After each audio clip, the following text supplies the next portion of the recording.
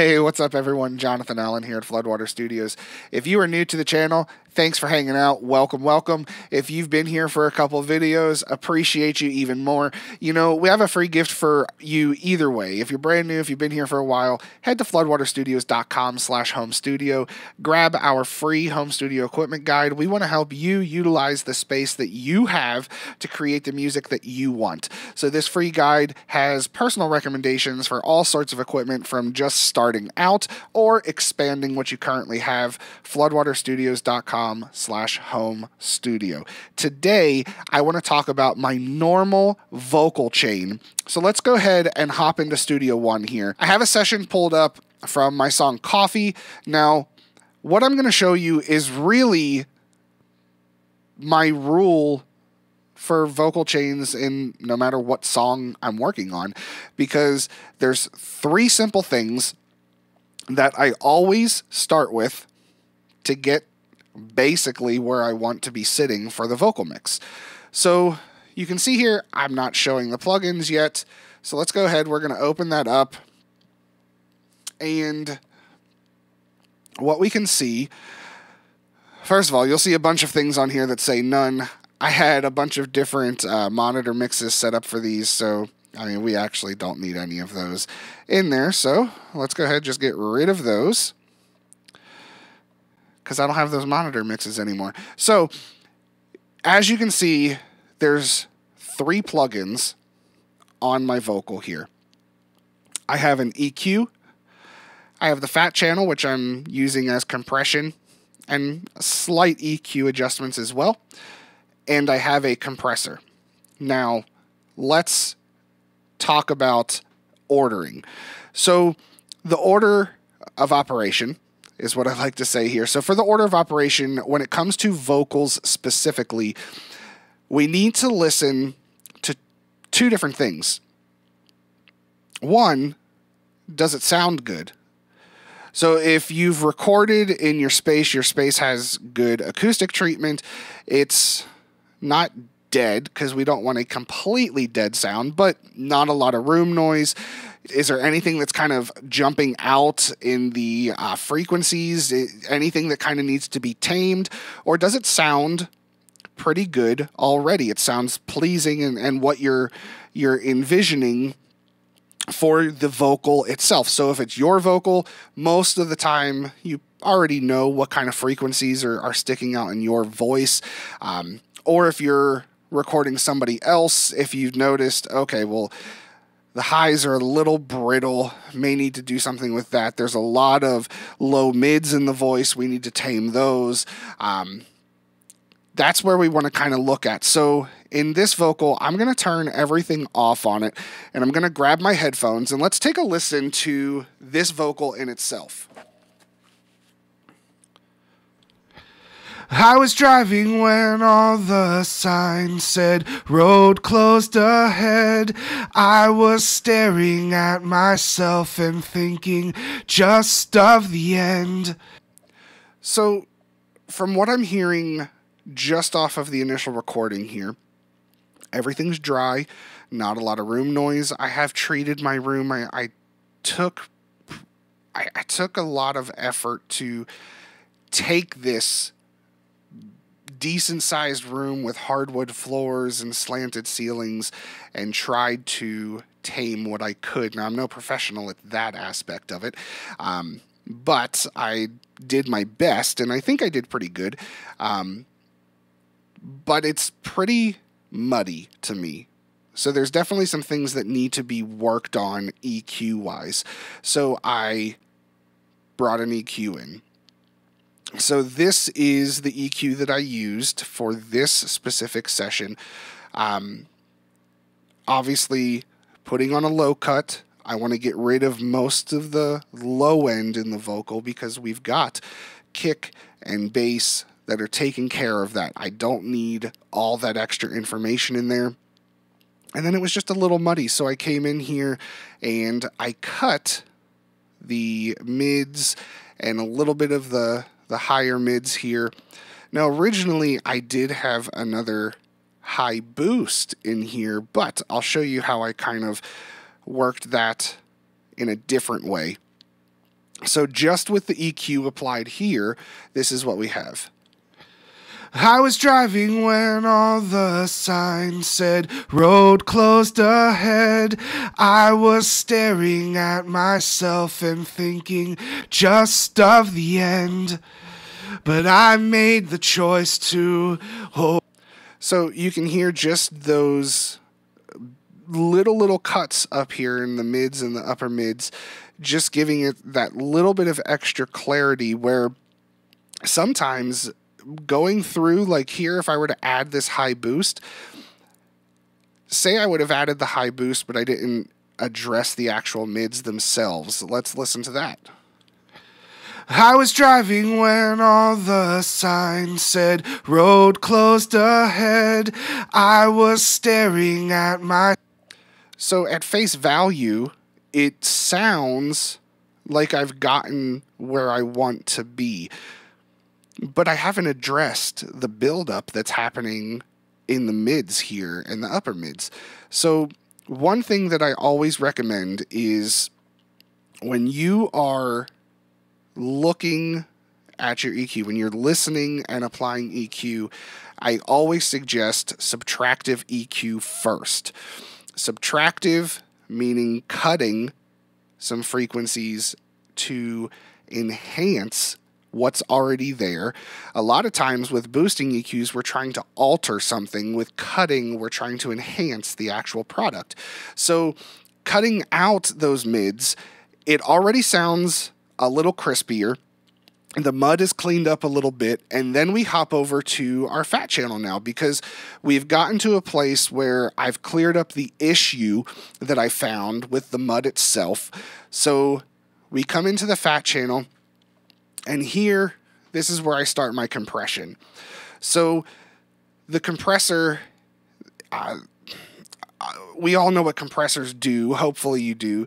Um, if you don't, essentially, we are squashing the signal, but we're bringing the higher transients, so the louder transients, we're bringing those down to a certain threshold. And that way, we can take the lower transients and move everything up in volume so that way we can get a more uniform sound um, just giving you one it's going to give us some less dynamics depending on how much you're you're squashing and how much you're just hammering your vocals. But it's going to give you the opportunity to adjust the quieter parts and the louder parts and get them to be roughly the same dynamic, roughly the same volume for things. And as opposed to if you, you weren't squashing and then raising, the louder parts are just going to be a lot louder. And then the quieter parts are going to be around normal. But then you start to get into clipping things. It's you, just a mess. Work with compression. So, with the compressor here, what we're going to do is I'm going to turn off the equalizer that I also have on, so the EQ there, and we're just going to listen to the original EQ now with the compressor. So we have adjusted the mud, and now we're working with the compression aspect. I was driving when all the signs said road closed ahead. I was staring at myself and thinking just of the end. But I made the choice to, oh, to move on again. And actually, if you don't know what I was talking about with squashing the louder sections, this is a prime example. So if we turn off this EQ, you can even just see from the waveforms, this is a lot louder and more intense than this this little section here with the couple words. So no compression. Oh, to move on again. Oh, to move on.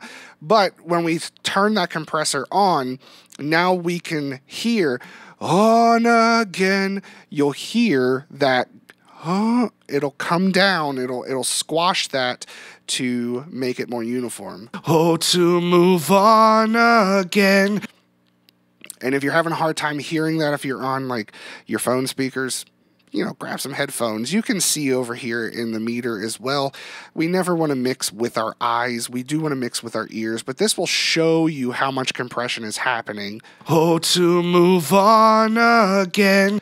So you can see it's gotten to like 7 dB of compression just on again. So this is the vocal now with EQ and then compression added.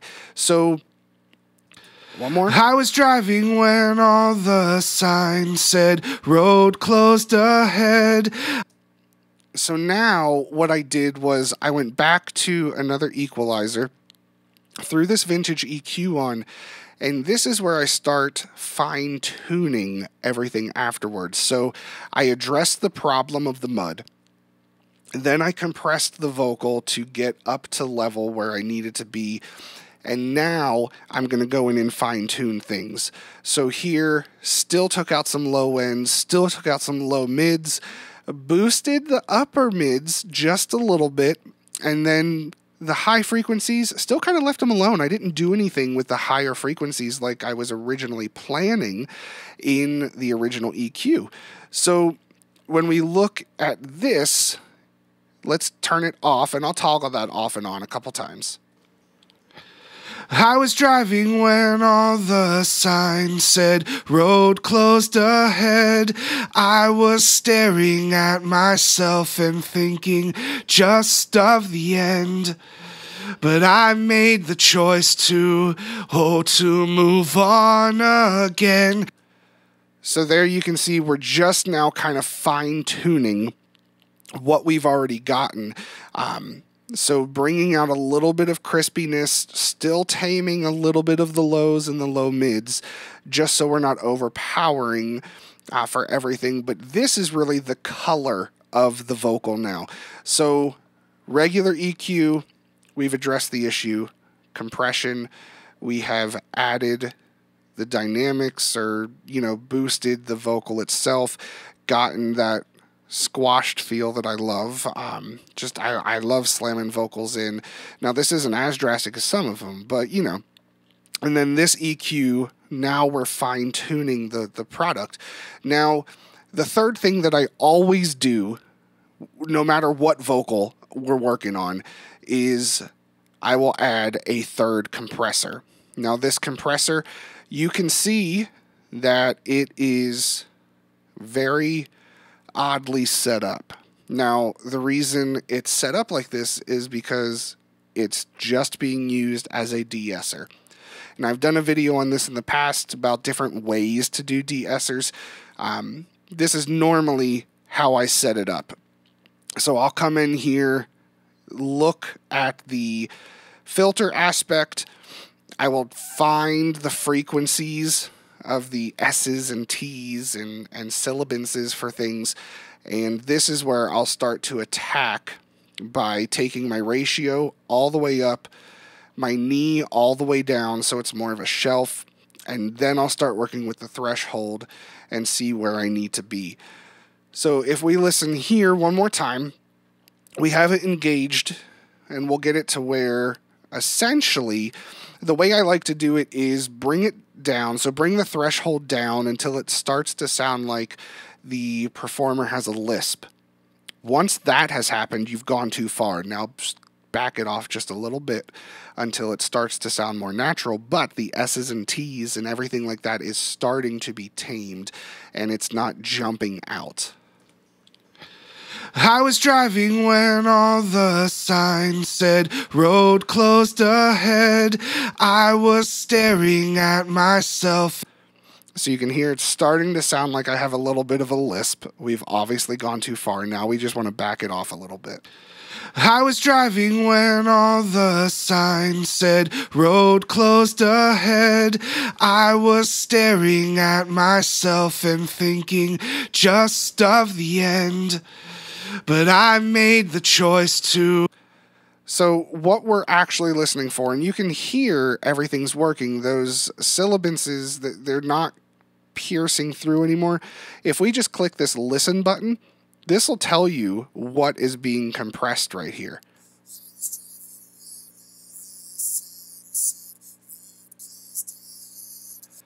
So if you were on phone speakers, you definitely most likely didn't hear that. But it's just a lot of high end stuff that we don't need in there, especially when it comes to, like I said, all the sibilants. So we have this. I set that as the de-esser.